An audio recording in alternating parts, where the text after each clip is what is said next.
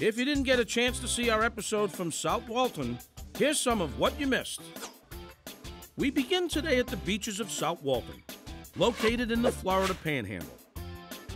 There are some of the best beaches in the world here, and the dining scene just keeps getting better and better. Now, here's a new restaurant that's opened here in South Walton, and the chef has got a pretty good following around here. Jim Shirley is the owner and executive chef at the Bay.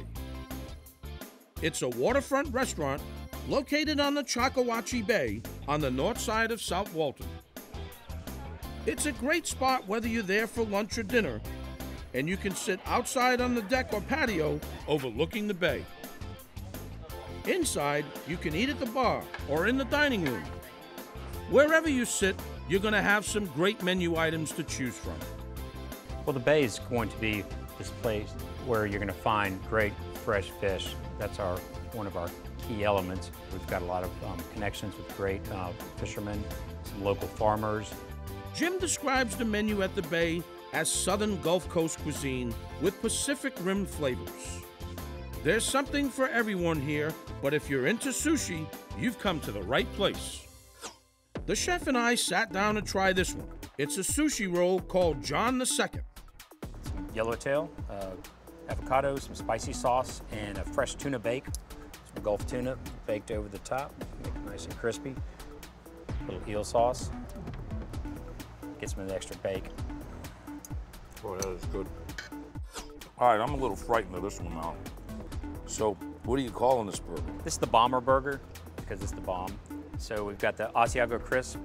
Um, there's you know your burger. We've got slow roasted tomatoes have been brushed with tamari, caramelized onions, ketchup, anchovies, and then you know a special gooey salty mayonnaise sauce that goes over the top. All right, you want to cut it or you want me to cut it?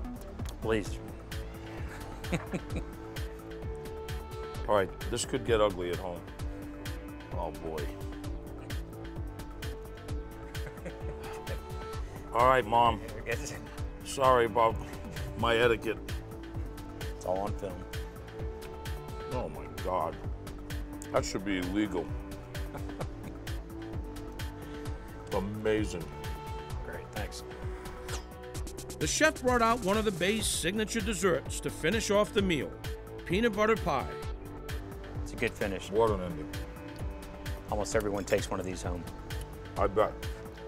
Chef, thank you so much for having us.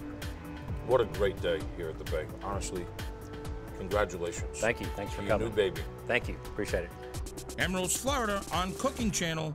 Don't miss it.